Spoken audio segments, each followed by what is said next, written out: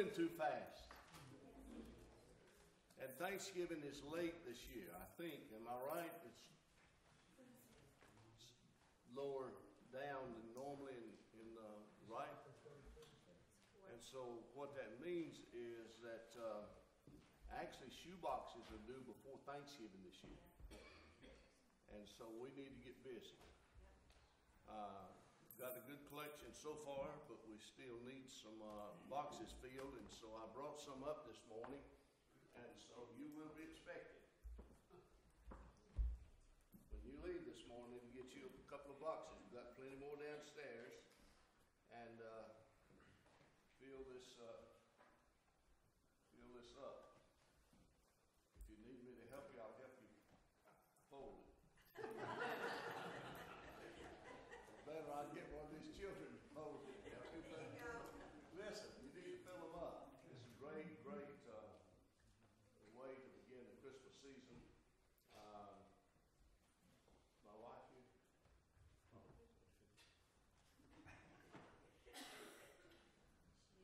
Please, you put your, put your fingers in her ears so she don't hear my next statement. Somebody gave me a hundred dollars this morning to fill up some boxes.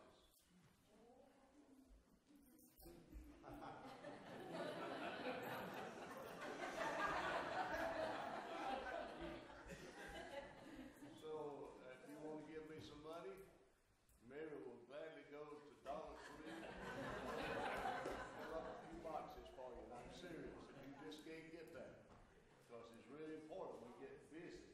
It sort of slipped up on me, I didn't realize it was Thanksgiving coming toward the end of the month. But this is a great thing to do, and so, uh, please, uh, please get some this morning, don't leave before you've taken a few boxes, and, uh, let's, let's do our part. Uh, Travis has an announcement this morning.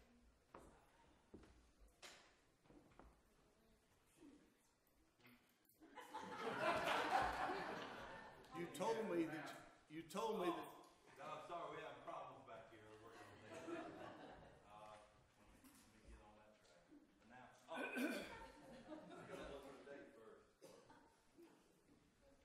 November 21st.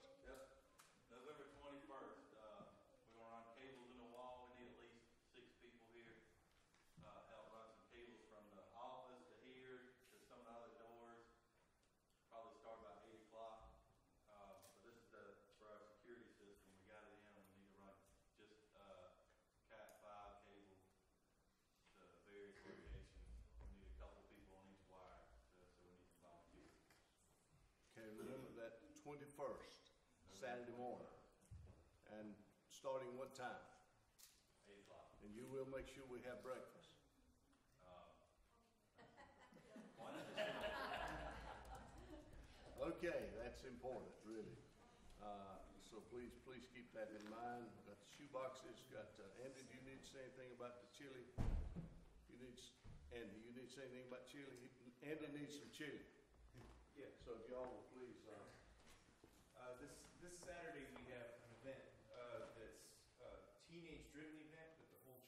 whole church if y'all wanna come out. Teenage activities start at two o'clock. It's on your bulletin on the back, there's the address. It's in red text, uh, called the Chili Bowl, partnering with, uh, Ronson Road Baptist Church and a couple other churches in the area. Uh, we're in need of some chili. We need to bring some chili with us, uh, enough to feed about twenty-five folks. And then other churches are bringing chili too, and we all put it on a table and have at it when it's dinner time. But uh, there'll be a, a high-quality speaker there. One of our friends is a missionary in Germany. He will actually be speaking here the next Sunday morning. Uh, so come on out, and, and you're all welcome to come to that. Uh, but if you have uh, wherewithal to donate some chili and get it there for us, then let me know or Stephanie know. We'd appreciate that. Okay. go ahead, Rick. Okay, let's stand and sing our first song. What Denise was playing as our prelude this morning. All creatures of our God and King. There's a line in that first verse that says, Lift up your voices and with us sing. So that's what we're going to do right now. This is the day that the Lord has made. So let's sing together.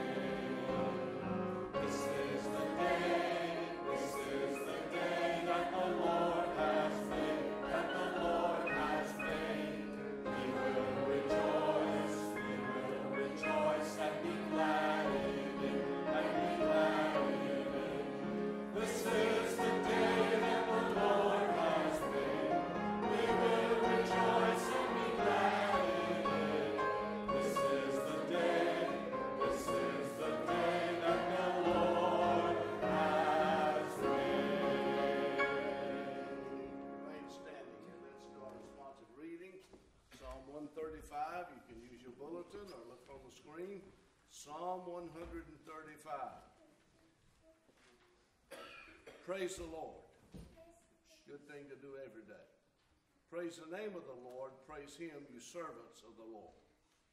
You minister in the house of the Lord, in the courts of the house of our God.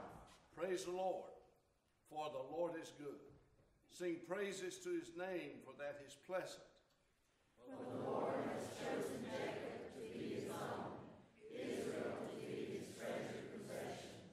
I know that the Lord is great, that our Lord is greater than all gods. The Lord does whatever pleases him in heavens and on earth, in seas and all their depths. He makes clouds rise from the ends of the earth. He sends lightning with the rain and brings out the wind from his storehouses. He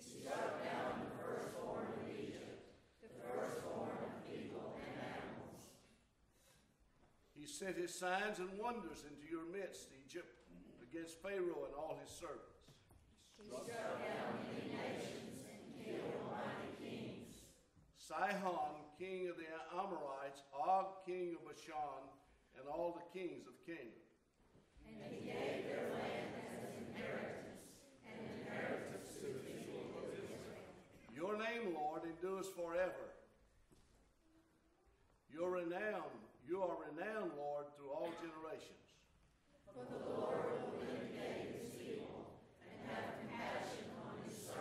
The idols of the nations are silver and gold made by human hands.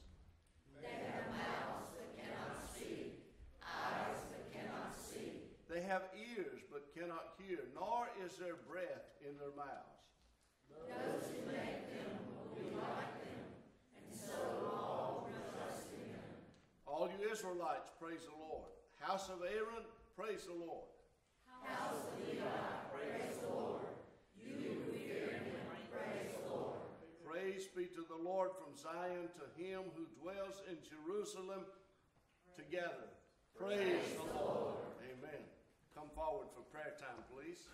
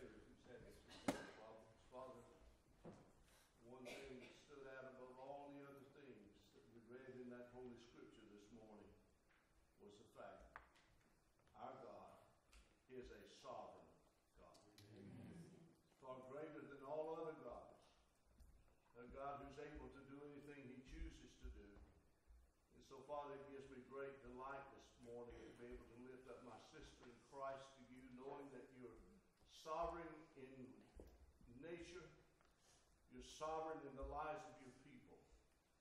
Whatever you choose to do, Father, that you do. And Father, our minds wander to the New Testament this morning as Jesus walked this earth. And the Lord Jesus touched the blind eyes to make them see. He touched the ears of the deaf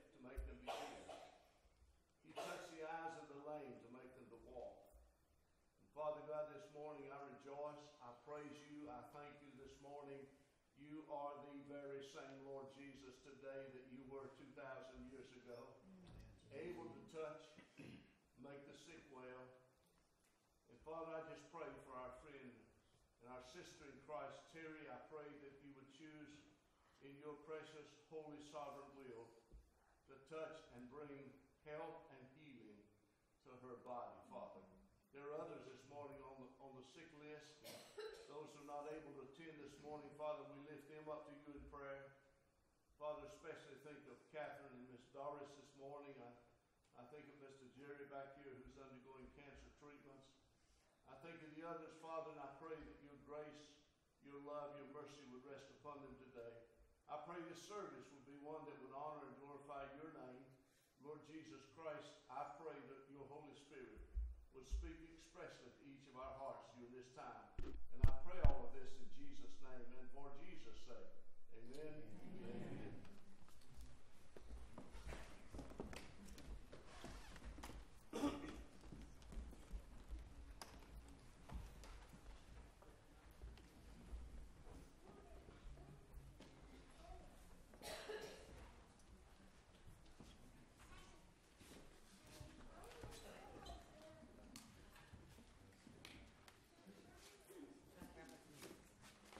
We're going to continue now with another song, and our next one up for this morning is All Hail King Jesus. If you're using your hymnals, that's 103. Of course, we have the words on the screen behind me here, so let's all stand and sing together.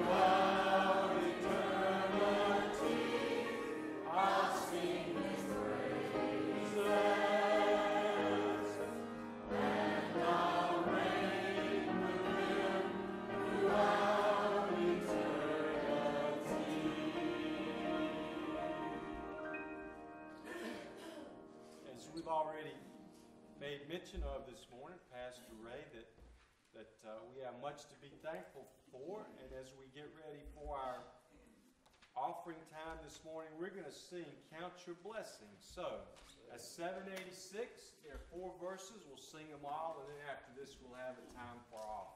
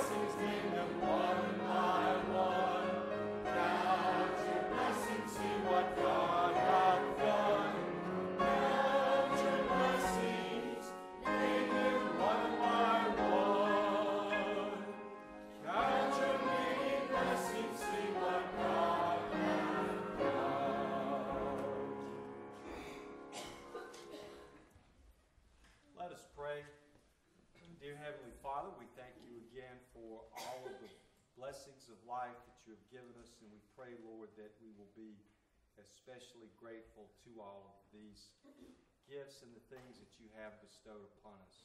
We pray at this time for the offerings that are given today, and we pray that they will be used, Lord, to benefit those in our midst, community, our nation, and wherever the needs may be around the world. We pray for the service that we are part of at this time and for the time to come, Lord, that you will be upon, that your spirit will be upon us, and please be with the pastor as he leads us. And all of this we pray in your name.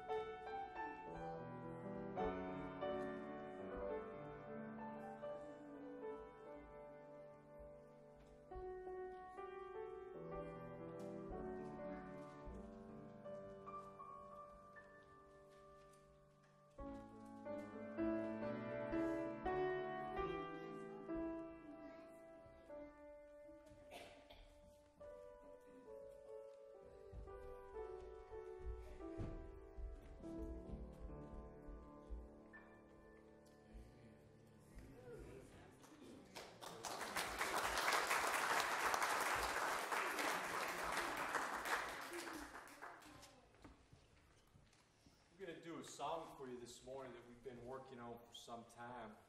And uh, every time that we've gotten ready to sing it on a Sunday morning, something has come up and either not enough people or other, you know, in the choir to do it or other things going on. But the thing that I like about it, in addition to the music, in the space of maybe three minutes or so, it tells the entire story of Jesus from birth to resurrection to the second coming. So it's, a, it's, a, it's a, just a, cool song, and uh, you know we've been looking forward to doing it for some time, and I just hope that we could do justice to the to the words, the music, and the message. It's called Yahweh.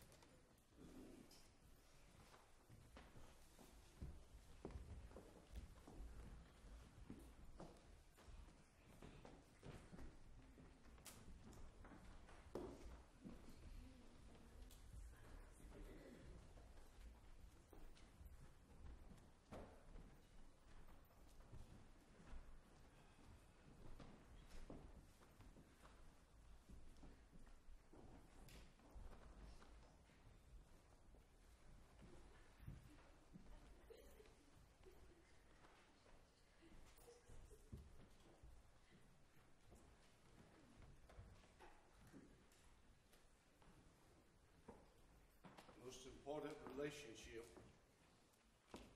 in the world any one of us have is our relationship with God.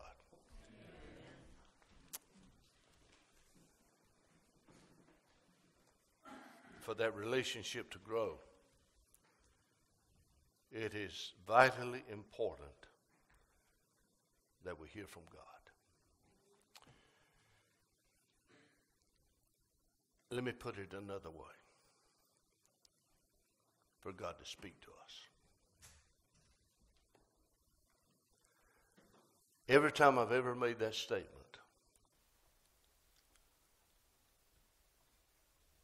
there's strange looks in the congregation. And most oftentimes, somebody will ask me, What do you mean? I've had Christians, many of them through the years, make this statement Pastor, I have never heard God speak.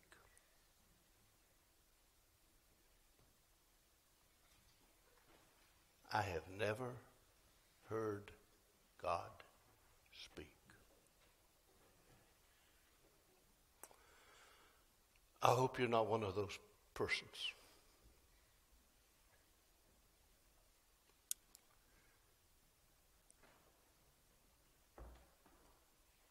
You mean to tell me, preacher, that God speaks to you audibly? No. I have people tell me sometimes that God spoke to them audibly, as he did to Moses, as he did to Abraham. If God were to speak to me audibly, I wouldn't be here this morning.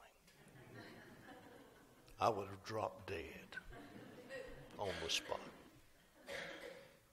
Can God speak to us audibly? Yes, if He chooses. There are times in our lives when we, uh, when we uh, go through those periods of times when we don't hear from God. You ever had those periods?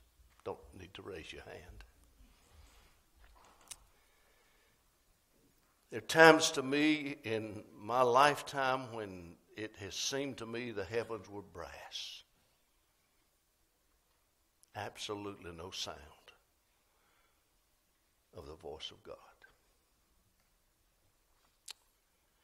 I think one of the things that uh, may often hinder us from hearing from God is our busyness. I think there's another thing that may well hinder us from hearing from God is that our lack of prayer time. Because you see, prayer is not a one way conversation. You've heard me say it many times from this pulpit. Most of you, I think, could quote it. That prayer is a conversation between two people who love each other. That means that it's a conversation where you speak, but it's a conversation also where you take time to let God speak. And the problem many times is that we simply give God our wish list. And then we hurry about to do our day's activities without waiting on God to speak to us. But I think many times it's our busyness. And so I want to share an experience this morning that I hope will help you. It, it helped me greatly. In my busyness recently, I did not hear from God.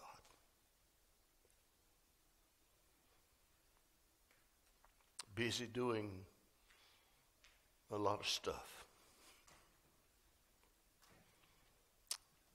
particularly related to our moving.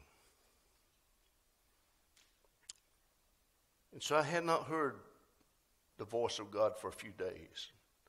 That bothers me. There may have been a time in my Christian life when I would not have particularly paid attention to that. But at this stage of my life, it bothers me if I don't hear from God. It was Thursday a week ago.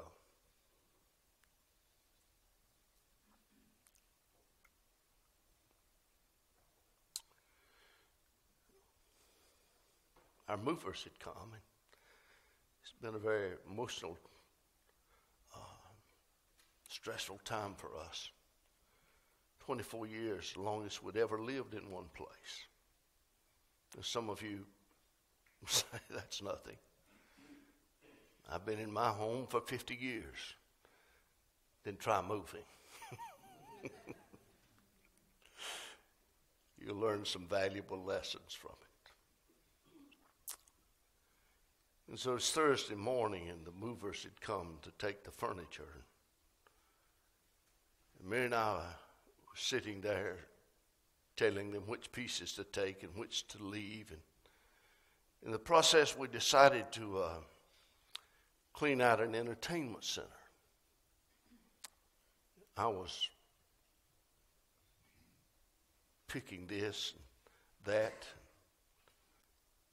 and uh, I discovered something.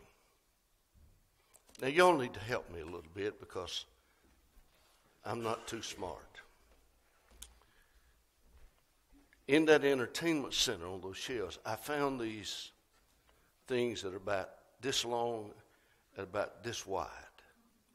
What did you call? What did we call it? V. What? VHS tapes. Okay.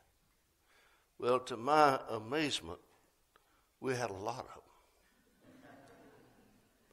And the strange thing was, we didn't have anything to play them on.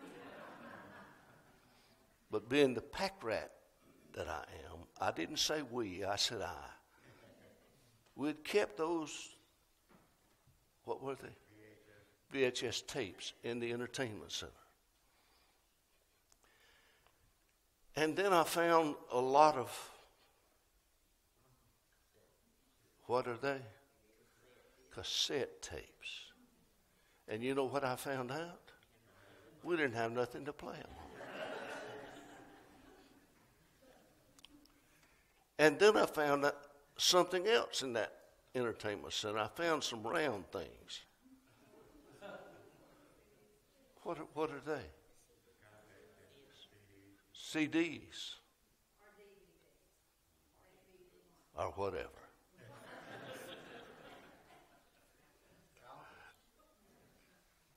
now we'll get to the point. We filled up about three big trash bags of these things, this stuff. And here, Mary and I were sitting there, and after a time of not hearing from God, God spoke to me. It was as clear as any voice from God I'd ever heard, not audible. But God spoke to me. And when He spoke, I began to weep. It was refreshing time just to hear Him speak to me.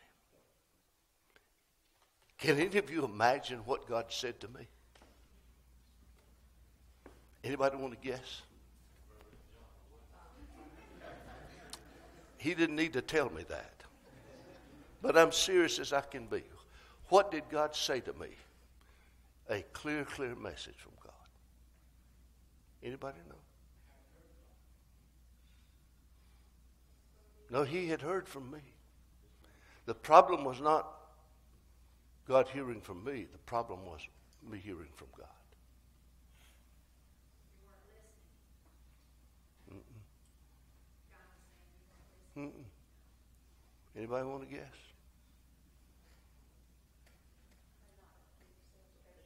Oh, I have quoted that 10 trillion times. Especially when I got in the attic yesterday and began to clean out the attic. And I found things that only God knew were there.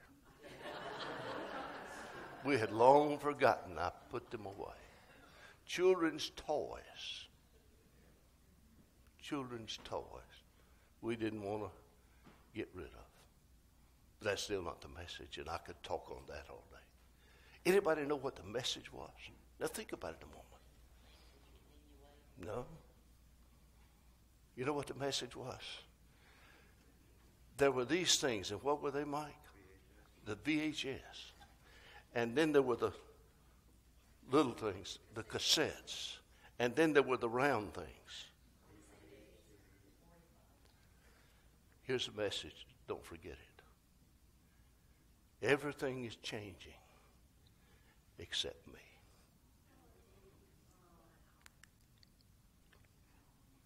Gone from this,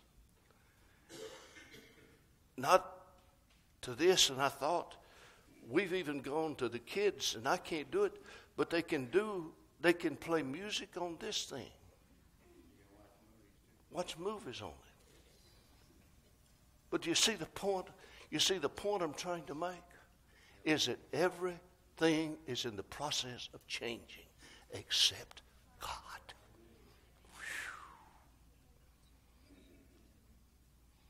And any field that you want to choose this morning, and I begin to think, think how medicine has changed.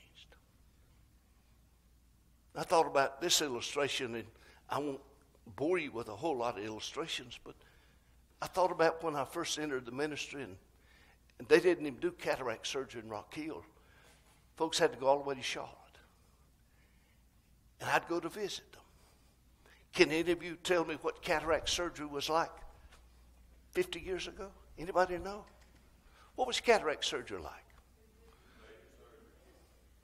It was major. You lay flat of your back with sandbags against your head, and you could not move for 24 hours. And they kept you in the hospital from two to three to five days. I had cataract surgery, and an hour after he had performed the surgery, I left the hospital. With the only instruction this don't bend down and don't pick up anything over 20 pounds. Thank you, Lord, I don't have to vacuum for a while.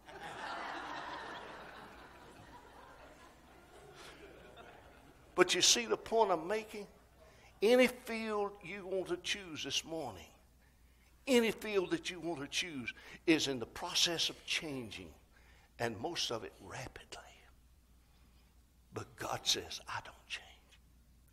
And then why is it that we anchor ourselves to so much else that's changing rather than anchor ourselves to God who doesn't change and He's constant. I hope God lets me stay here long enough, Father, so these people get a little Pentecostal blood in them. So they know what it is to say amen. Amen. I mean, that's an amen. That's a hallelujah, folks. To know that our God is the same God He was when He spoke the world, He spoke the worlds into existence. And Hebrews 12 and 8 says, and that's where I went. I, I knew it was Hebrews. I knew it was Hebrews, but I, it, I had to look it up. It's Hebrews 12 and 8. Mark that. Jesus Christ. And Jesus said, He that has seen me has seen the Father. Jesus Christ, the same yesterday, today, and forever. God, the same yesterday, today, and forever. Folks, that's hallelujah news. What you've seen is, is it, what we have seen is nothing compared to what we're going to see in the way of change. Now, one of these two famous educators you might can tell me how quickly is knowledge changing in our world? and is shaking his head this way, that means he must know the answer. What's the answer? He says it's faster than he can keep track. Now, Greg's going to have a more precise answer. What's the answer, Greg?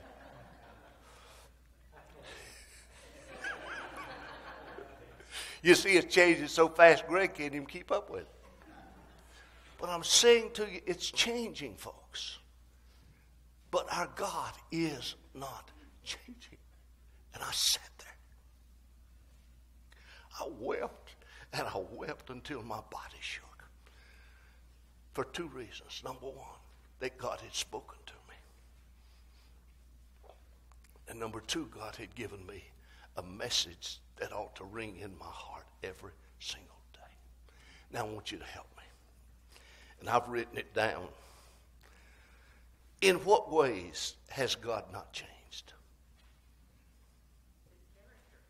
God's character has not changed. God's faithfulness has not changed. God's promises. Amen. Boy, that's one of my one of the things that I've written here to talk about. God's God's character, God's faithfulness, God's promises. You, you need to write these down. Can you write? I, I, told the young people this morning, I was giving Andy a little break in his Sunday school class this morning, and I, I was uh, in there with the young people, and I, I said to them, they spend so much time, and I've heard the real experts talk about this, they spend so much time texting each other. There's going to come a time when they won't even be able to talk to each other. You know. So, you need to write these things down. In what ways has God not changed? His character, His faithfulness, His promises. What else? God's love, God's forgiveness, God's mercy, somebody said. In what other ways is God the same?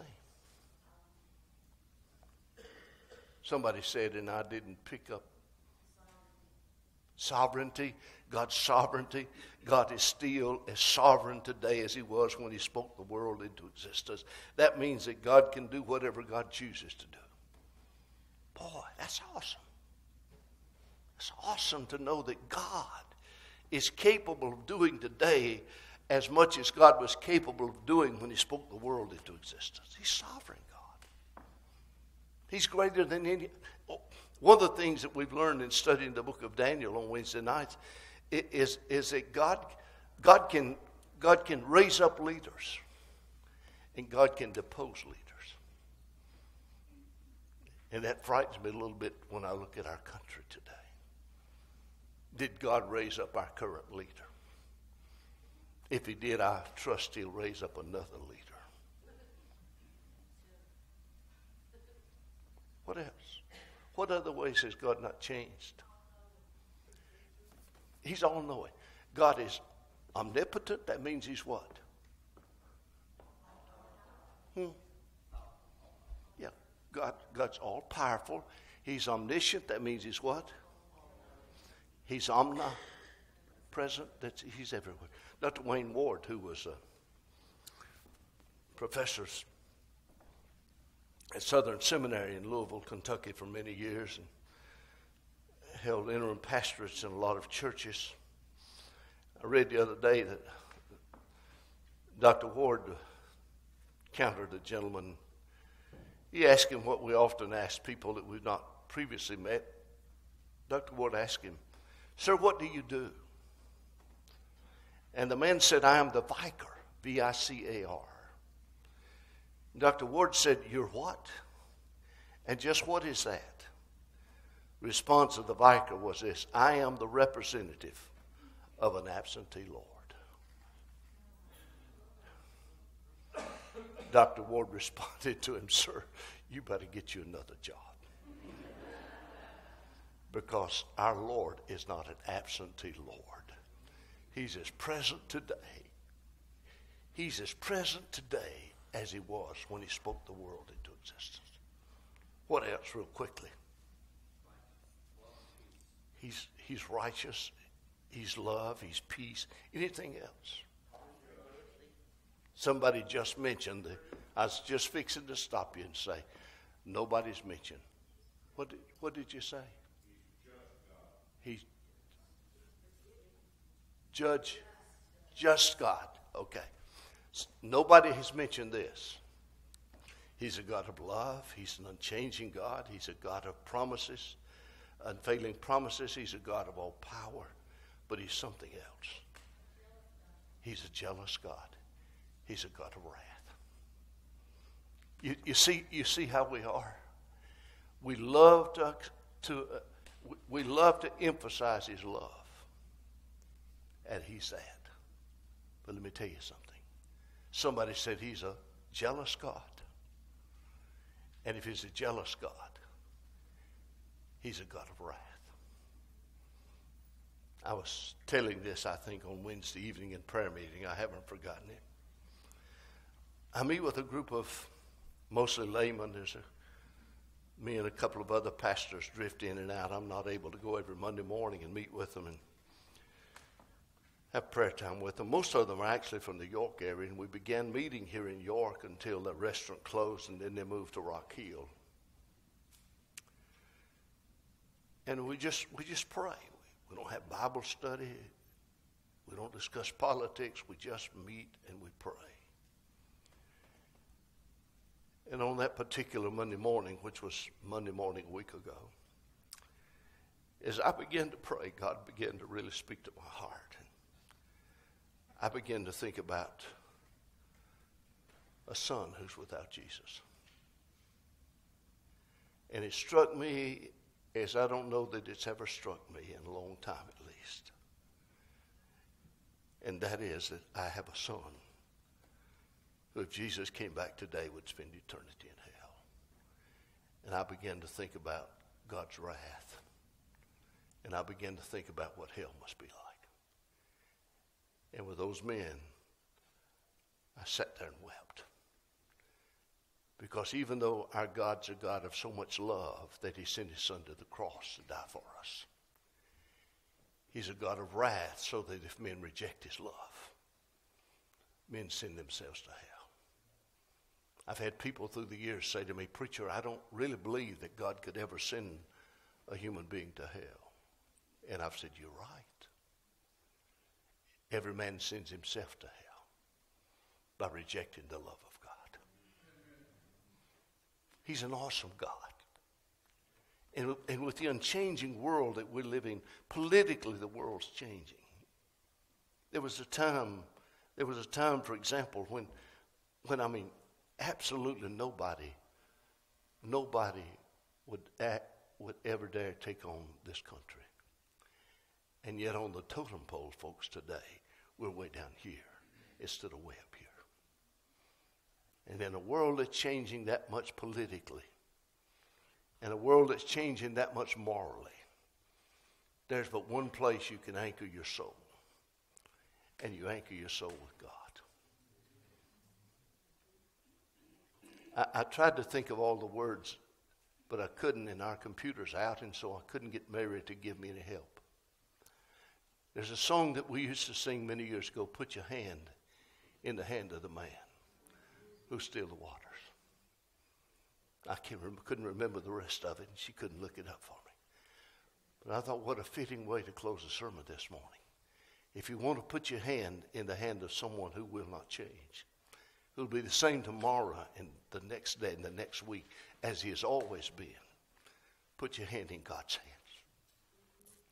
Boy, when I looked at so many of that stuff that I had accumulated through the years. Now, I started to bring some of my show and tell this morning.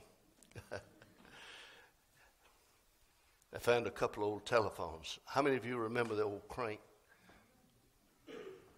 How many any of you remember the old crank telephone? Well, there's a few old folks here this morning. Eddie Fieldbeck and I used to fish with that once in a while. Now, some of these folks don't even know what I'm talking about. then I found one of these phones where you put it up to your ear, you know, and all this stuff. And again, I thought, changing. But in the midst of all the change, God's constant. Amen. And amen. Amen. Thank you, Father. I'm sorry that I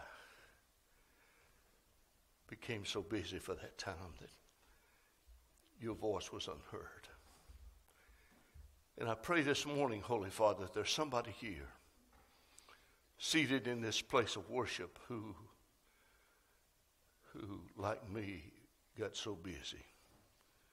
And they've been so busy that they haven't heard from you in a few days. Slow us down. I'm reminded as I pray this morning of what our dear layman said to me in the hospital one day. Is he brought me a little book on the 23rd Psalm. And he said, Pastor, sometimes God has to put us on our backs to cause us to take time to look up. And God, if there's somebody here this morning who may be getting close to that, I pray that you will shake them from their busyness and cause them to devote a time every day when they can not only share with you their heart, but they'll give you time to share your heart with them. We're wonderful people, Father. Blessed beyond measure, individually as, as we sing, as we sang earlier. Count your blessings, name them one by one. Count your blessings, see what God has done. You've done more for me.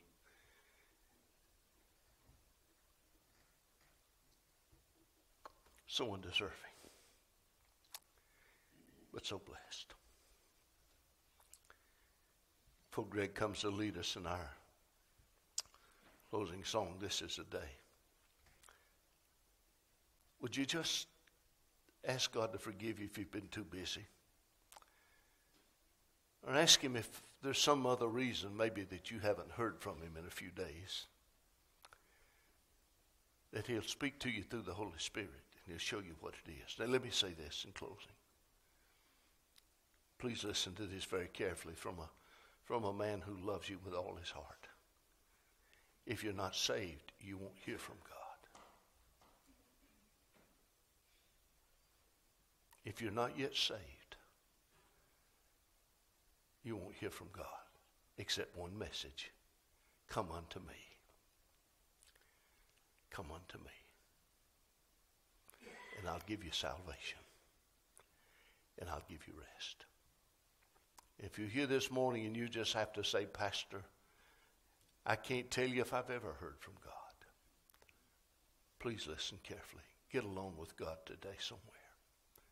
And ask God to show you, and He will why you haven't heard. And maybe you're a child of God, but it's been a little while since you've heard. You too need to get alone. Say, God, is there some sin that I've committed that I'm unwilling to confess? Is it busyness? Is it stuff? Is it things that have gotten in the way? Forgive me for that, Lord. Remind me every day from now until my time I go home to glory. Lay not up, lay not up for yourselves treasures upon earth, where moss can eat away, rust can destroy, thieves can break up and steal, break in and steal. But lay up for yourselves treasures in heaven, where none of this will ever happen. Forgive me for being so earthly minded. I've not been as heavenly minded. And God, if there's somebody else here this morning who is in that predicament, I pray, I pray with all of my heart, Father, help us to realize this life is short at its longest. Like that Weaver shuttle I picked up the other day. Fastly it moves across that loom, or it did. So our lives are even shorter than that. It's like the dew that comes in the morning and then soon it's gone. Like the flower that grows up and then it fades away. Our life is much quicker than any of those symbols, Father. So help us to leave here this morning a people who love you more than we've ever loved you, a people who are more committed to you and to your kingdom and to your church than we've ever committed. and a people who are committed to trying to do all within our power to see that things change in this nation. Remind us every day, my people, called by my name, shall humble themselves and pray and seek my face and turn from their wicked ways. I'll hear from heaven, forgive their sin. I'll heal their land. You are our only answer, Almighty God. Yahweh, as a choir so beautifully sang. And I pray this in the name of the one that loved each one of us so very much. And he went all the way to a cruel cross, shed every drop of blood in his body, that we might be redeemed from our sins. We might know what it is to be washed in the blood of Jesus. And I pray all of this in Jesus' precious name. Amen. Amen. Stand as Greg leads us in singing This is the Day. Let's all stand together and sing our closing.